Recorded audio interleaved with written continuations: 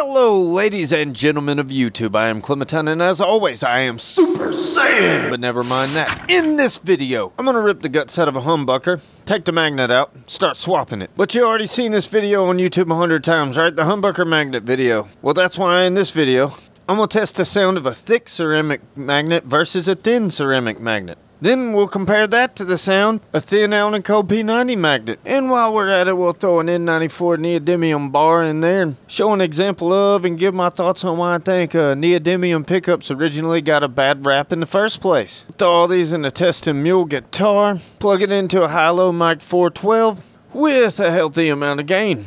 I will show and explain this entire process in detail, including a whole bunch of nerdery. So, if this sounds like something you might be interested in, stay tuned! Roll that beautiful bean footage.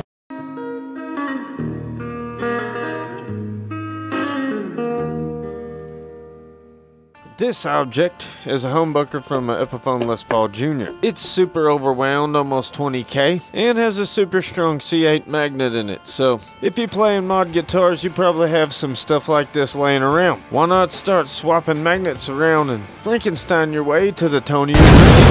Even do this with the pickup still in the guitar soldered into position if you just take out the whole ring like what I have right here. And in almost every case you can do all the stuff in the rest of this video with one screwdriver. But if you have the extra fancy expensive cheap ass sounding pickups, you can get one of these little screwdriver and bit kits for a dollar at the dollar store. So first thing to do is use a screwdriver to remove the pickup from the pickup ring. Next you flick the pickup over and you loosen up the four coil screws. And like I said before, you don't even have to remove the pickup from a guitar to do this as long as you don't pull on that uh, tether too hard. And you don't always have to take the screws completely out of the back plate to change the magnet, but the first time you probably will as it'll be all stuck together with wax. Next thing to do do is kind of look at the pickup real close and look up in under that uh, pickup tape right in between the coils and kind of poke around there and lift it up. See, I was trying to push the magnet out because I knew which side had the leads in, but what you're looking for is you want to see where the leads are and how long they are and what can happen up in there without ripping those leads loose. And once I fold it open, you can see exactly why I said what I said. Now you have the coils and the magnet on the left and the back plate and the spacers on the right, but those spacers looked like rubber magnets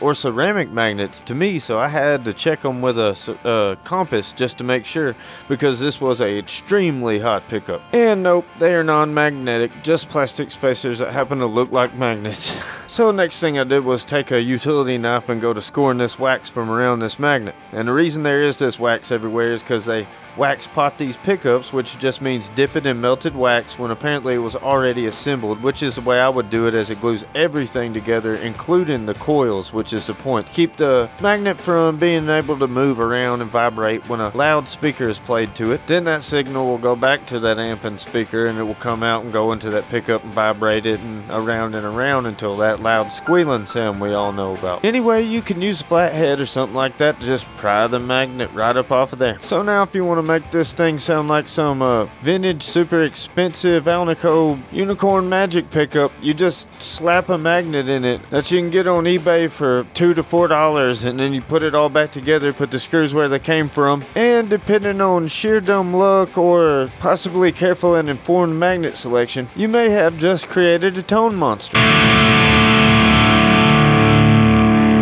So, speaking of magnet selection, here's a magnet.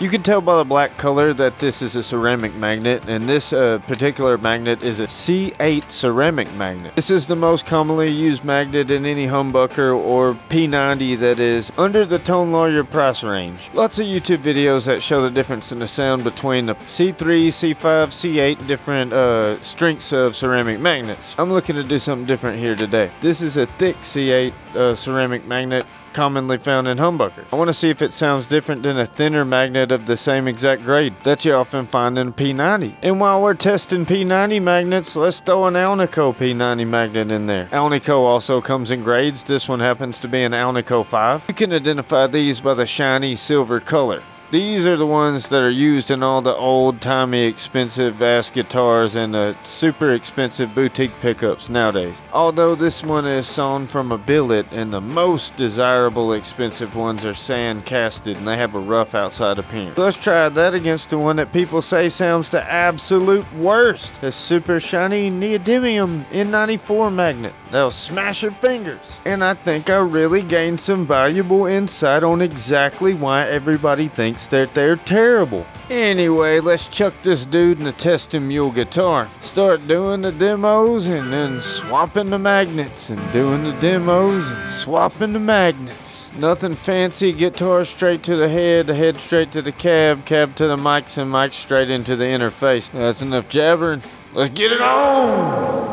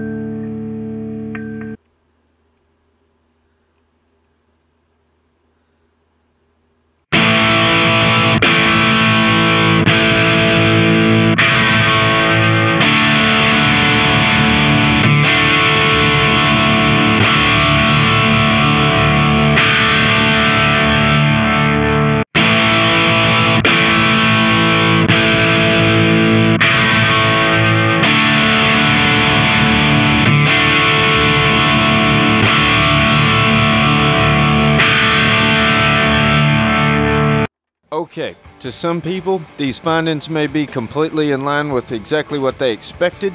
To some other people, they may be like, there's not much difference in between any of those examples. It's kind of like turning the mids knob up and down on an amp.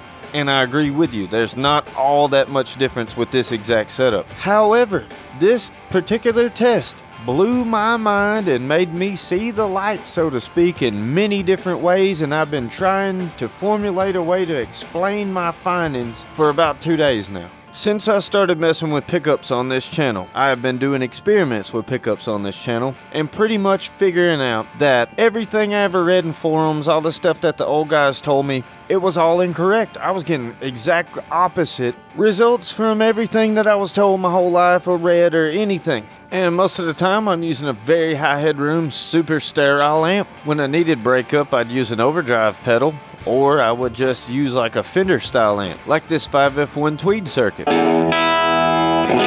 And in all these instances, more magnet was more bass and more volume. But clearly in this test, more magnet strength was trending toward more treble. This is exactly what every Guitar Dude forum and all of our uncles that used to work in a studio and everybody's uh, cousin's brother's nephew's grandpa that used to work for Molly Hatchet as a roadie. I've done the test, man. It's not worth your time. Alnico is warmer than ceramic, and those neodymium magnets sound harsh and horrible. Well, I have to agree in this case. That's for two reasons. The flat side of neodymium pickups is most often the strong side of the magnet, making it better for use in single coil pickups. Another problem is that the size is just much too small. It doesn't effectively fill the space in between the two coils, so it shakes around in there and picks up a lot of microphonics. You can get around this by using the slug style bobbins and stacking the magnets under the bobbin. So don't discount neodymium. It can be used to make great pickups. It just has to be used correctly.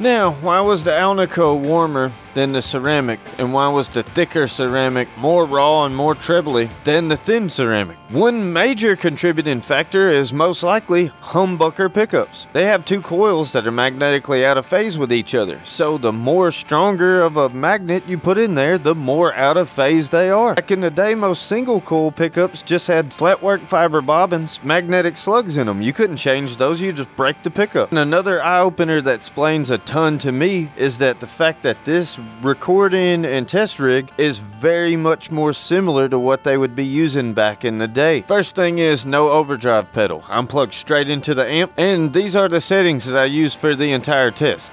Yes, the gain is only at about 60%, but the reason it sounds like it's ripping is because the volume's also at about 40%. So about bedroom volume, right? No, not quite.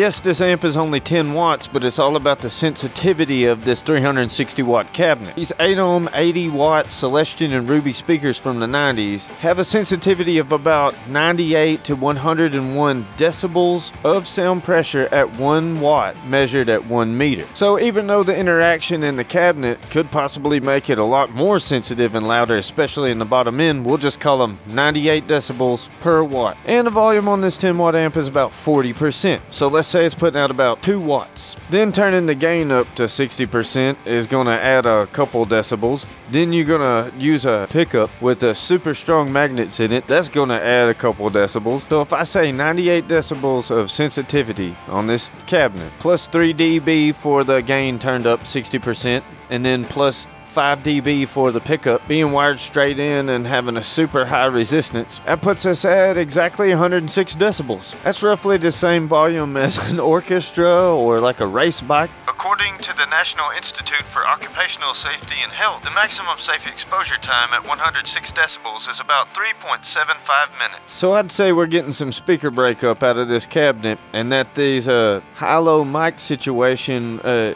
with a Shure 57 is picking that up perfectly and clearly. And once again, this is exactly the same way it would have been done 30, 40 years ago. So with this old school symbiotic system here of like a slightly microphonic humbucker that is wound up the wazoo like an old DiMarzio, going straight into a head with a Marshall style tone stack, using the volume as your breakup more than your gain, into an angle 412 with high wattage Celestions like back in the day, like maybe a G12 75T, then with a 421 and a 57. Stronger magnet will give you more treble, the way that we were all always told. So, for the first time on this channel, when using humbuckers and speaker breakup, myth confirmed. Well, guys, that just about does it for this video. If you found this educational or entertaining in any way, please like and maybe subscribe. Next time's P90s. Anything specific you'd like to see, put it in the doobly doo down below. Till next time.